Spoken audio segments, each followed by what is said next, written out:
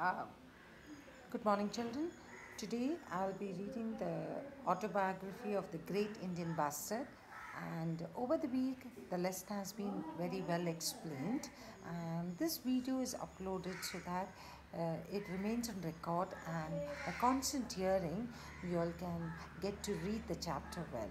So please watch it whenever you have the time so that uh, the, it's uh, with repeated hearing the lesson is better understood and uh, with small dif- uh, uh, difficult words will be explained as I read again today as this is the final read of this chapter. Autobiography of a great Indian bustard. Which is the heaviest flying bird in India? Well, friends, it's me, the great Indian bustard. I feel proud to be known as the great Indian bustard.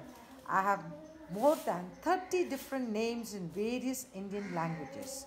In Marathi, I am known as Maldhok or Whom. I can weigh up to 18 kilos and can stand up to 4 feet in height, reaching up to your shoulders or even higher. I have got a long neck, brown wings, tall yellow legs, and a black cap on my head. A black cap on my head. My wife, Mrs. Bustard, is smaller and slimmer than I am and her neck is not white. But I have heard humans say that we both are very impressive. Impressive matlab सबको अच्छा लगना. Now, I live on grasslands and deserts along with my other friends, including chinkara, blackbuck, and larks. These are the different varieties of birds which are found in grasslands and in the deserts. Now, I eat everything, including snakes, lizards, small fruits, and berries, and all sorts of insects. That's a very healthy habit so to eat everything. But grasshoppers and beetles are my favorite food items. When it starts raining, we all gather at our favorite grasslands where there are no people to disturb us. I perform a wonderful dance by gulping, gulping air in a special feathery pouch attached below my neck. Okay, this pouch helps me helps me to produce a resonating sound similar to the one produced by a cow. Mm. I dance enjoy with puffed out feathers and cocked up tail and drop down wings. It helps me to impress my soulmate. You know that we birds lay eggs. So they are oviparous and our young ones hatch out of eggs. Mother Giabi, Mother Gib lays just one egg directly on the ground. We don't believe in building nests, but we have a special trick to protect our eggs from predators.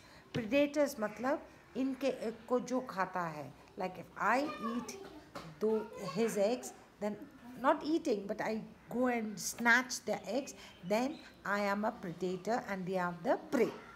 So the eggs look like stone.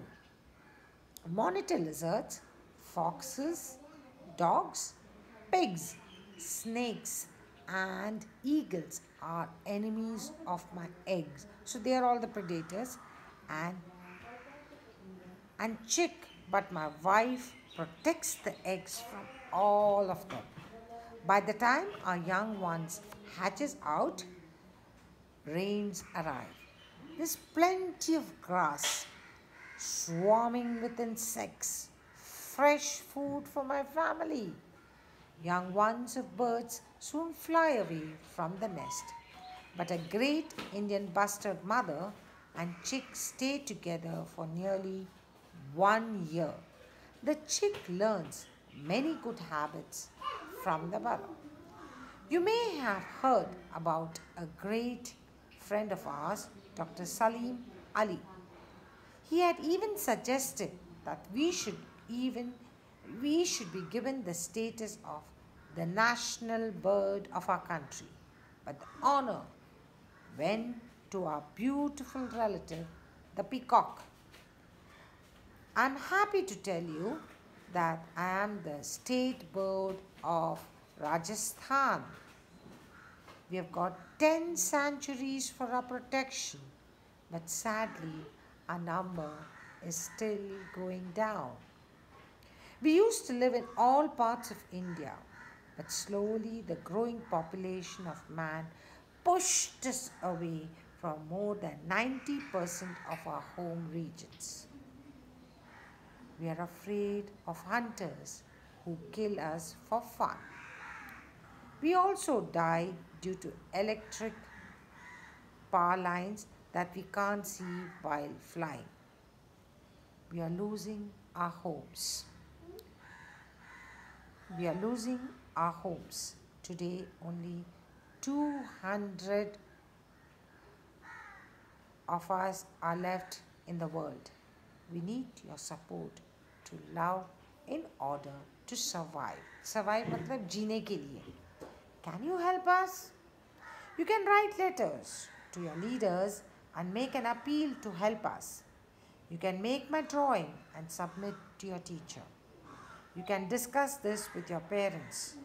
Can you see us at a sanctuary? Because now you will see us, you will not see us in other places. And who knows, if humans don't help us, none of us will be left on, on the earth. You will only see us in pictures. Dr. Pramod Patil. So this is what they have shown the picture of the great Indian bustard. The neck, the legs, the cap, the yellow beaks, everything is described in the lesson.